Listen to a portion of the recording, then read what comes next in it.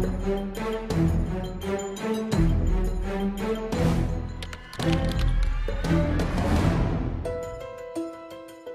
parle en écho à ce drame survenu ce week-end au Havre, ce chien qui a attaqué euh, trois enfants, mordant très grièvement notamment un jeune garçon. Nous sommes avec euh, Ghislaine Maucourant de l'association Action Amstaff France. Bonjour Madame Maucourant.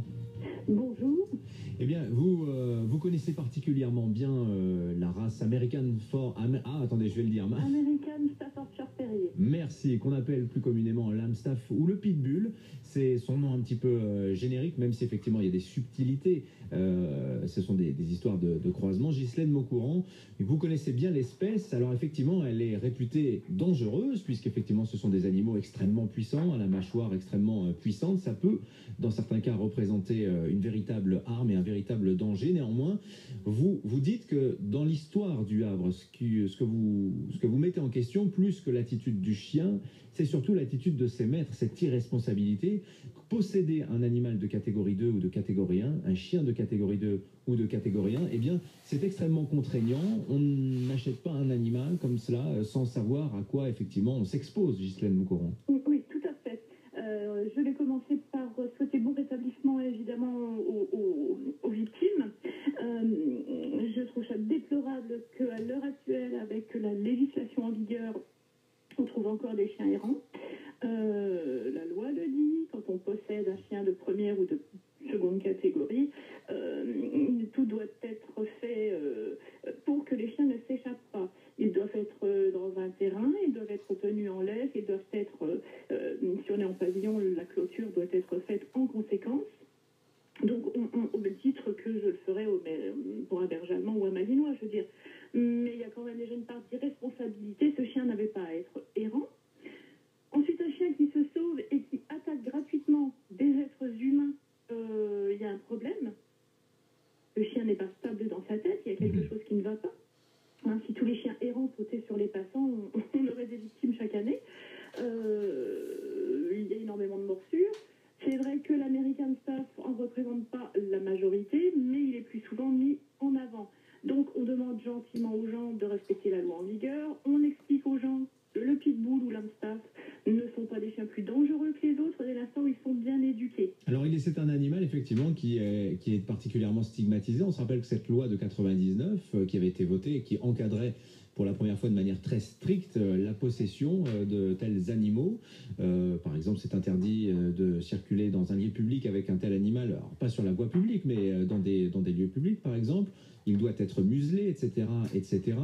Eh bien, c'est cet animal-là, le pitbull, qui a été l'objet d'une focalisation. Pourquoi, d'après vous, Ghislaine Maucourant, s'intéresse-t-on autant à ce chien-là et pas aux autres, puisque effectivement il y a d'autres races qui sont euh, potentiellement dangereuses, le Rottweiler par exemple. Bien sûr, tout à fait. Alors, le pitbull a été victime de sa popularité, à savoir que l'American Pitbull Terrier est une race à part entière aux États-Unis et ben, que les Français ont voulu gentiment copier et s'approprier.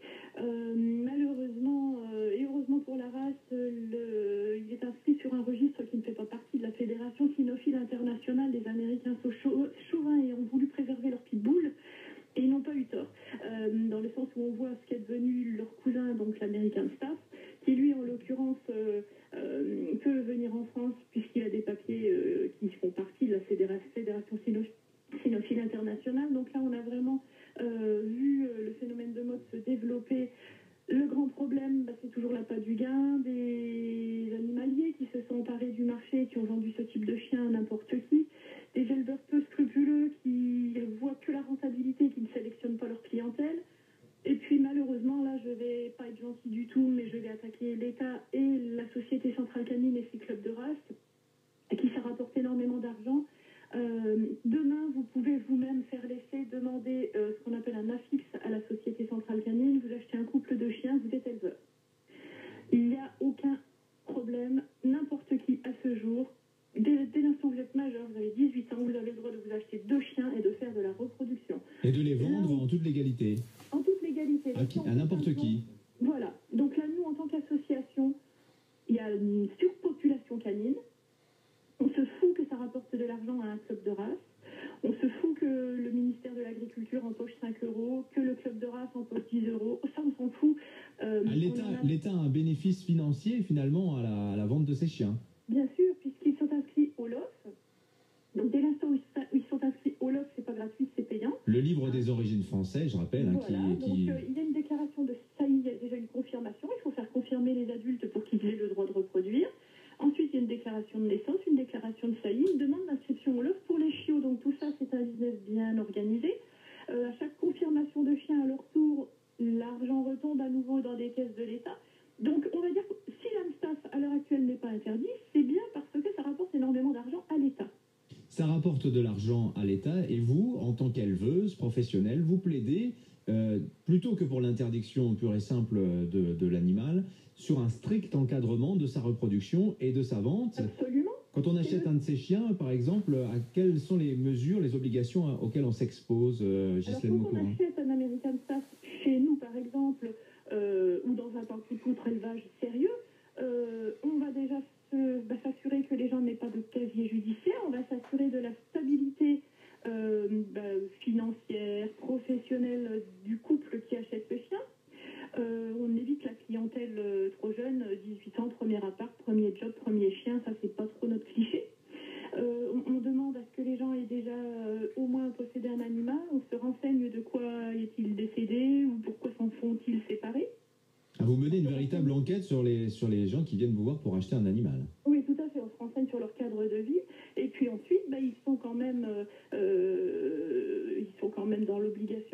une journée de formation dans un club d'éducation canine pour connaître les bases.